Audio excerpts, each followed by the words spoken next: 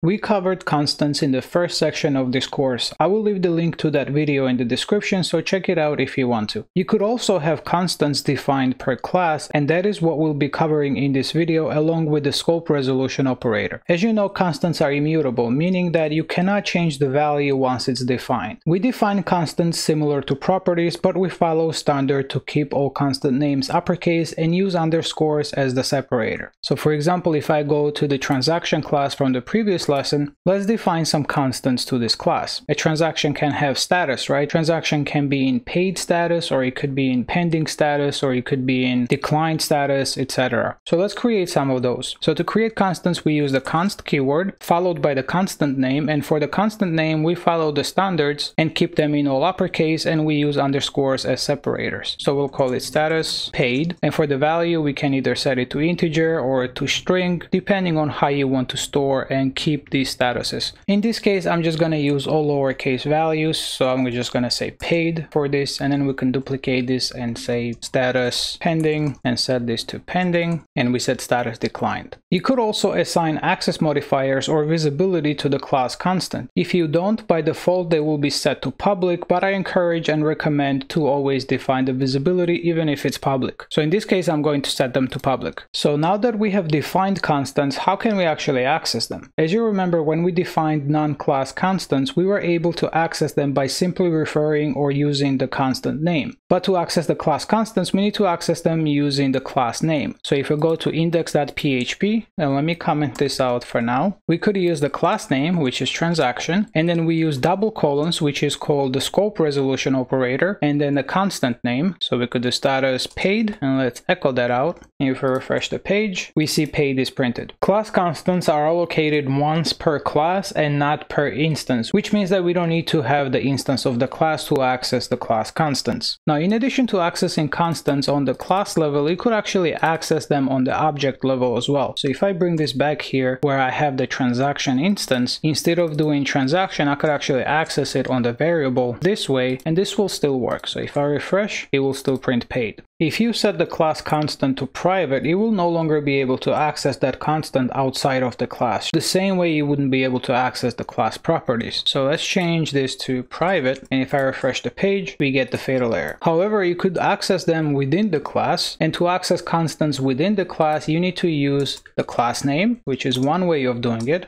So let's var dump and let's comment this out for now. Let's refresh the page. We get paid. And another way to access it is by using the self keyword and self refers to the current class. So it's similar to the this variable, which refers to the calling object, but self refers to the current class or the class where it's called. There are more differences between self and this, and we'll talk about that in the next video once we get to the statics. But if I refresh the page, it still prints paid. A class also has a magic constant called class, which resolves at compile time and returns a fully qualified class name. So for example, in here we could do a transaction, then use the scope resolution operator and then use class. And if we refresh the page, it prints the fully qualified class name. Now this can work on objects and it can also work on the class itself. So we could do it this way and it will still print fully qualified class name. There are many use cases for constants. If you have data or information that does not change and keep referencing all over the code, it's better to move it into a class constant so that way if it ever changes you only change it in one place. Another use case is to define constants as sort of enumerations or enums the same way I just did it for transaction. It allows you to not hard code these values. If you notice that you're hard coding some piece of data that does not change that often, consider replacing them with constants and I'll show you an example. Let's create a method here called setStatus and it will accept a string status and it will set the property status. And let's simply return this. Let's set the return type to self and as you remember previously, when we set the return type to the current class, we used the class name, so like this, transaction. But you could also use the keyword self, which refers to the current class, so it would still work. Now we need to create the status property, right? So let's do private string status, and let's set the default status to pending and let me comment these out for now so that I can show you both with and without constants. Now you could set the default status straight in here as well this way pending or you could set it in a constructor it's entirely up to you how you want to do it. Now let's say transaction set status and let's set it to paid.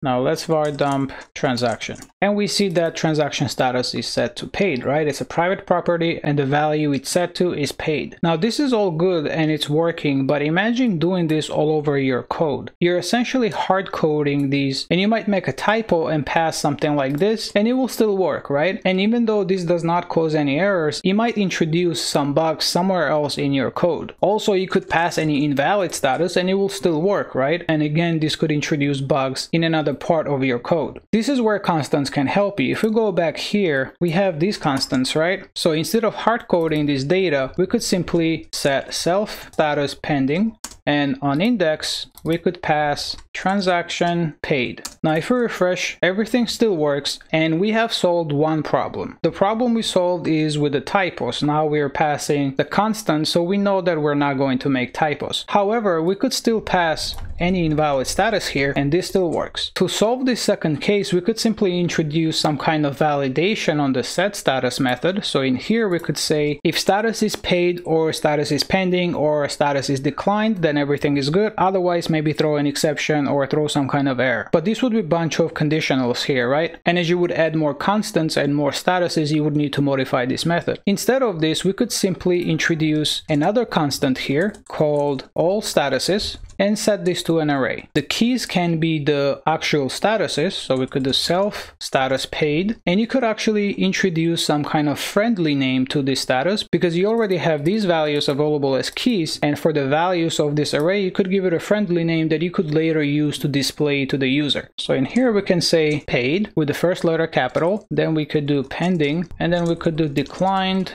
this way. This is also something called a lookup table and we'll talk about lookup tables later in the course. And now in the set status method we could simply check if the given status exists in the all statuses array. And if it does not exist we can then maybe throw some kind of exception or an error and we'll cover the exceptions later in the course so don't worry about it now just bear with me here. Now if we refresh the page we're going to get this error that this transaction does not exist. Now we can go back here and fix this and pass the proper transaction. Alright, so we've solved both problems, but there is still one thing that bothers me. We're kind of coupling these constants with the transaction class, right? Transaction class should be responsible for processing and working with transactions. I don't think it should be responsible for storing status constants. It does not make sense to refer to transaction class outside of the object to access the constants. Imagine we had to access this constant somewhere else where transaction object wasn't needed, maybe for display. Referencing a class class that has other business logic in it just to get the constant values would not look good to me. So what can we do? Notice how we are prepending our constants with the word status. That's a pretty good indicator that we could extract these constants into its own class because right now we're prefixing all statuses with the status word. But I think something like status paid would look much cleaner and more expressive. So let's create this class within app directory and we can store this in app